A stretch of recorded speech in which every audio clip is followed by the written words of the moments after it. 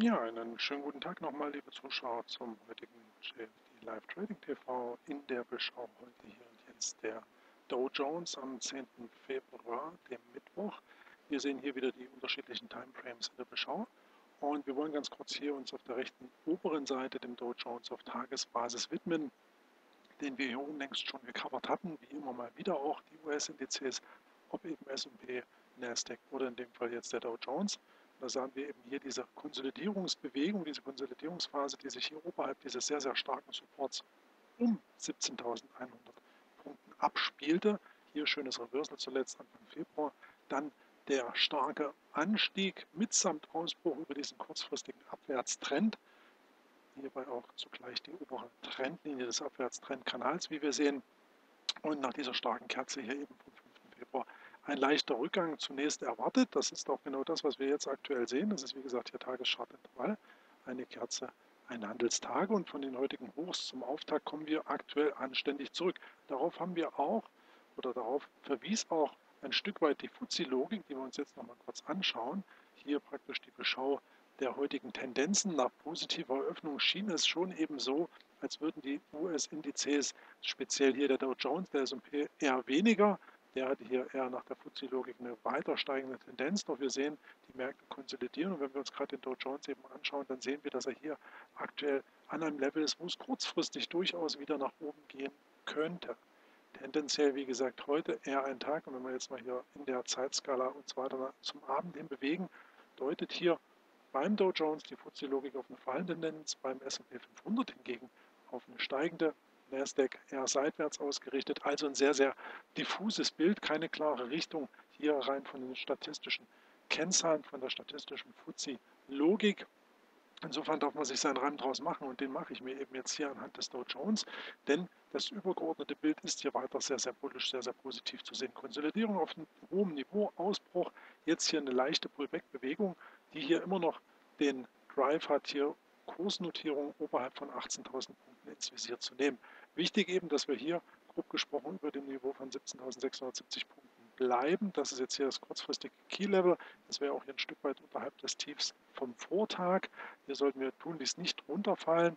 Wir werden gleich sehen, es gibt hier noch Sicherheitszonen, aber je tiefer wir hier zurücksinken und speziell ja das Niveau hier von 17.530 Punkten wäre ein Level, wo man sagt, wenn der Markt eben hier ähm, rein taucht, dann auch wieder in den Abwärtstrendkanal sozusagen reinblickt, dann wäre die Gefahr gegeben, dass wir hier dann durchaus nochmals ein Stück weit tiefer bis zur Unterstützung von 17.100 Punkten hier in diesem Bereich zurückkommen. Das muss man als Risiko sehen, sofern wir hier zu tief eintauchen, aber die Möglichkeit oder diese Option muss sich gar nicht darstellen. Deswegen schauen wir uns jetzt hier diesen Stundenchart an zum Dow Jones.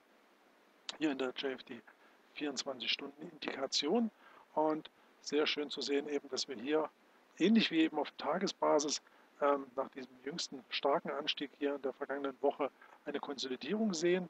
Und jetzt hier nach kurzfristigen Anhaltspunkten haben wir auch hier eine starke Supportzone schon ausfindig machen können, die sich hier im Bereich um 17.730 Punkten befindet. Hier ist auch der EMA 100, diese blaue Linie hier, spielt jetzt sicherlich nicht die Mega-Rolle, aber man hat hier mit diesem Support eine Art Kreuzunterstützung, die, und das ist eben jetzt das Interessante, den Dow Jones, wenn wir hier uns jetzt stabilisieren, ähm, im Bereich 17.730 Punkten eben hier nicht unter das Tief vom 9.2. bei 17.683 fallen, können wir direkt hier einmal eine Art Key-Level-Marke einbauen.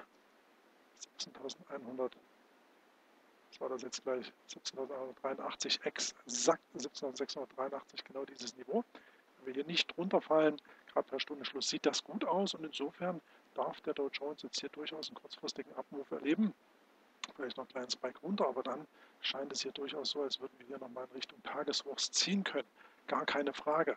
Kurzfristig sieht das gut aus, ist das eine sehr, sehr schöne Chance, hier den Dow Jones einzufangen, um hier eben nochmal an einem Move zu den Tageshochs teilzunehmen. Ob es dann reicht, dass wir hier die Niveaus vom 6. Februar ansteuern, Bereich hier knapp 17.900 30 Punkten. Das muss ich erst mal zeigen, ähm, ob die Dynamik, ob die Power heute vorhanden ist dafür. Aber grundsätzlich ist die Chance hier einer technischen Aufwärtsreaktion durchaus gegeben. Das kann man auch hier noch sehr schön mit einer kurzfristigen Aufwärtstrendlinie herleiten, die dann hier ihren Ursprung beim 5. Februar findet. Also insofern alles sehr, sehr interessant, was sich hier gerade darstellt und wie man den Dow Jones eben hier einfangen könnte. Man muss jetzt sehen, wie die weitere Woche verläuft. Wir haben im Prinzip die Hälfte schon geschafft.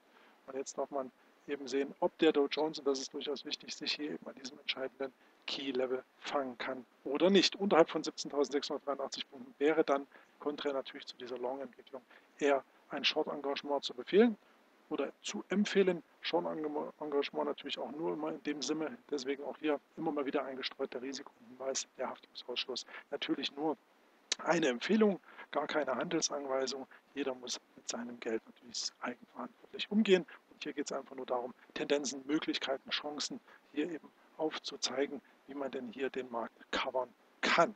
Keine Handelsanweisung in dem Zusammenhang. Das wissen Sie, dennoch nochmal eingestreut. Insofern bleiben Sie am Ball.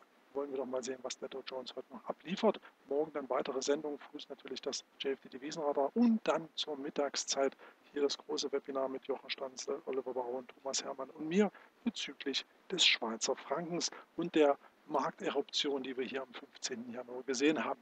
Würde mich freuen, wenn Sie morgen auch dabei sind. Ein Link diesbezüglich werden wir spätestens morgen nochmal im Stream darstellen auf dem JFD Desktop. Und in dem Sinne wünsche ich Ihnen jetzt schon mal einen angenehmen Feierabend. Lassen Sie es gut gehen. Hoffentlich hatten Sie einen guten Handelstag. Ich wünsche Ihnen auf jeden Fall alles Gute und bis morgen. Ihr Christian Kämmerer. Tschüss.